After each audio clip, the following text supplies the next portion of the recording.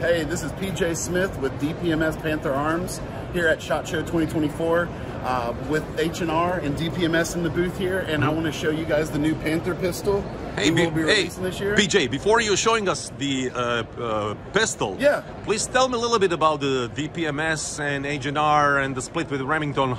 You know, Yeah, you know so all the a couple info years from. Mm-hmm. ago, um, Deming, uh, Remington split up.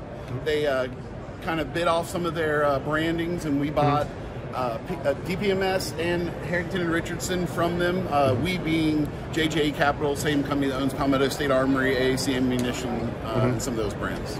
Okay, so for the first time in history, DPMS has actually a pistol, small right.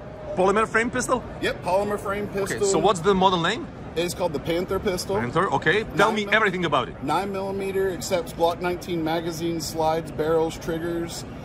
When you need a guns and ammo reference guide with tech specs and ballistics, or gun values 30 to 100%, and to print out over 22,000 gun manuals, schematics, blueprints with dimensions, and old guns enamel catalogs, go to firearmsguide.com.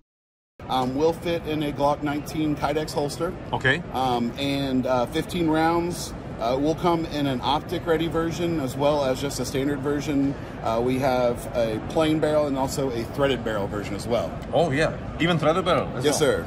These are pretty high sights. Is this uh, suppressor high So- sight or regular? So these sights right here are going to co-witness with the optic. So anything with an optic plate, we put the uh, third co-witness sights on there, so that way you can still use your backup sights if your optic goes off. So optic plates will come with the pistol included in the package. Yes. Yep. So Eh. you'll have this uh, on the optic cut models. It is cut for an RMR.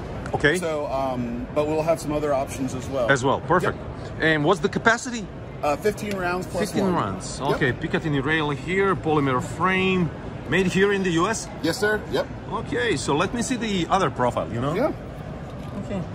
Um, up the red dot will have to be bought separately or comes in the package. We will have a package that uh, comes with a red dot, a range bag, and extra magazines. Mm-hmm. Oh, nice. So that will be available. Or if you want to pick out your own red dot, you can buy one just without the, the optic on it. Okay, and what will be the price for the model without the optic?